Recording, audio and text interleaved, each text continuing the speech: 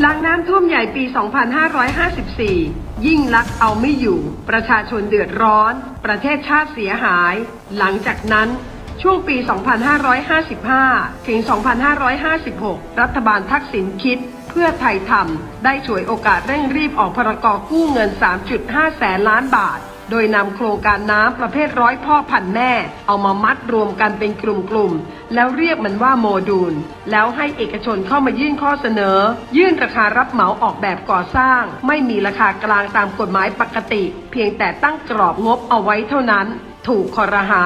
ถูกวิพากษ์วิจารณ์อย่างรุนแรงในเวลานั้น บังเอิญรัฐบาลนี้เขาเรียกน้ำย่อยไปก่อนแล้ว เขามีการกู้เงิน3ามแสน ห้าหมื่นล้านไปแล้ว เพราะ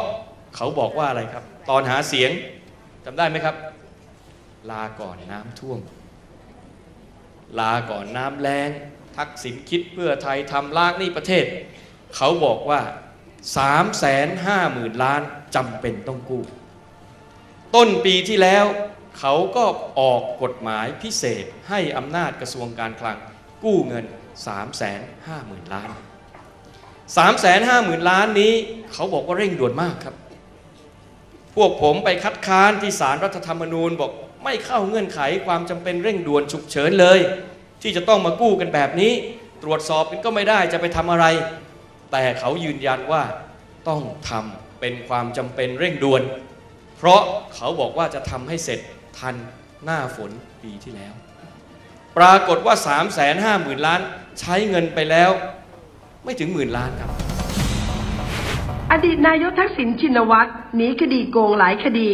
เดินสายไปล็อบบี้ถึงที่ทำการของ K-Water ในเกาหลีใต้ ผลปรากฏว่ากลุ่ม K-Water คว้าชิ้นปลามันไปคลอง แบบนอนมาตามคาดหมาย 2 โมดูลมูลค่าโครงการสูงที่สุด ได้แก่โครงการทางผันน้ำกรอบวงเงิน 153,000 ล้านบาท ที่เหลือเป็นกลุ่มอิตาเลียนไทยนำโดยเสียเปรมชัย 5 โมดูล รวม K-Water กับ ITD ได้โครงการมูลค่าเกือบ 290,000 ล้านบาท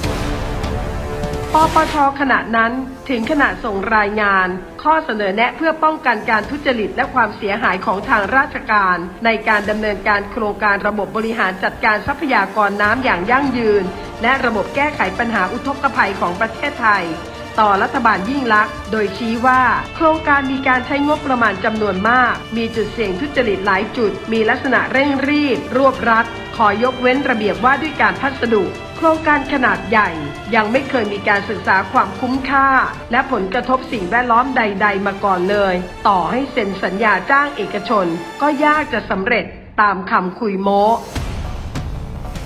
นับเป็นบุญของประเทศชาติที่ศาลปกครองชี้ว่าการดำเนินการไม่ครบถ้วน ไม่ถูกต้อง เพราะไม่ได้รับฟังความเห็นของประชาชนตามรัฐธรรมนูญ โครงการจึงสะดุด รอดปากเหี่ยวปากกามาได้ โดยไม่ต้องจ่ายเงินให้เอกชนที่คัดเลือกชงกันมา ปัจจุบันยังมีคดีทุจริตประพฤติมิชอบ เกี่ยวกับการประมูลโครงการน้ำาอยู่ที่ปปช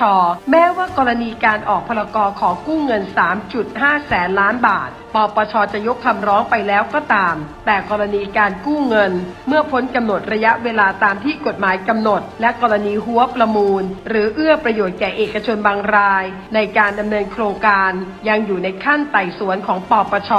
รอวันสรุปเรื่อง และพิจารณา ชี้มูลความผิดของผู้เกี่ยวข้องกับโครงการน้ำผลาญชาติ ในยุครัฐบาลยิ่งลักษณ์ชินวัตร